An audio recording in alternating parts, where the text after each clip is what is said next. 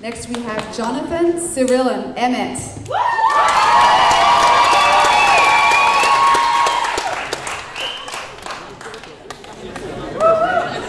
Hi everyone. Uh, today I will be speaking about something I never thought I would. So a little bit of background about me was born in Israel, but I didn't grow up religious. Um, went to Baruch College.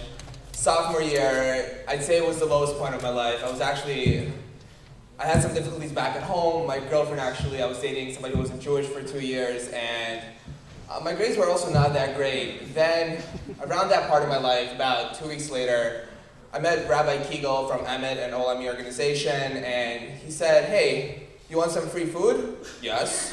then, then it went along the lines of, do you want to meet some Jewish professionals? Sold. So, went to Emet, loved it, and a little bit before that, I had this philosophy class where the professor just described why religion can't exist didn't think about it, but thanks to Emet, I realized the people that were speaking are so much smarter than that philosophy professor than I am, that they definitely considered these things.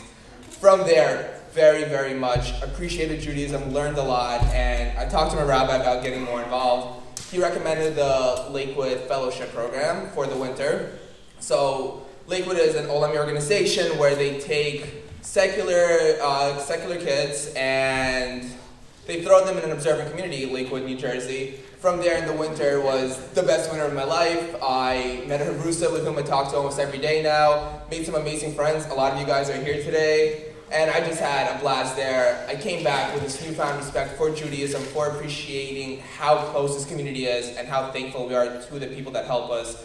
Coming back, so I did have it again, this time not for the food.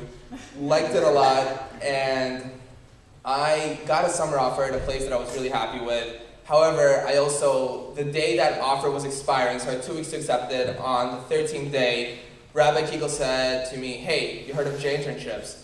I have not, but he told me about it, and he told me that I'd be in Lakewood in the weekends working during these, uh, working during the week for the summer, and luckily for me, so here's the thing. I wasn't sure. I'm giving up a great opportunity for a maybe. Something in me told me I should. I declined it. That summer, I worked for the Wilson Group, which is much better. So thank you, Mr. Aaron Wilson, for such a great internship.